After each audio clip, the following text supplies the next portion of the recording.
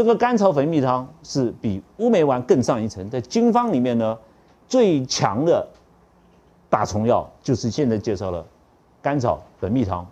好，你乌梅丸吃下去以后排出来都活了哦，因为那个虫是逃走的嘛，不是死死掉排出来的哈，是逃走的。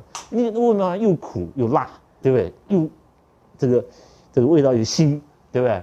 啊，所以说那个从闻到的乌梅丸根本是那个搬举家搬迁的，根本是逃出来的。好，哦，所以它虫卵什么通通带带出来哈。这样，如果乌梅丸没有效，大家就要讲到甘草粉蜜汤。好。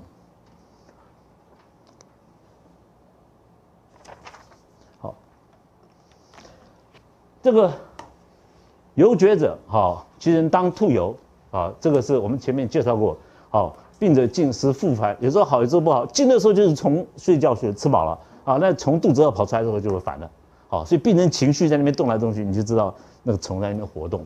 那我们诊断，如果一个病人他这个哑巴，好，或者他两手没有没有没有手，对不对？你你要手拿出来，他没有手啊，好，那怎么问？你怎么处理他？好，看他的。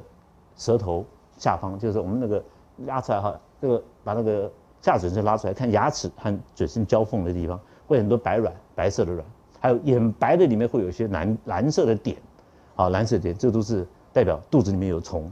还有我们的百虫窝，啊，我们的那个针灸里面的百虫窝都可以协助我们诊断，啊，里面有虫。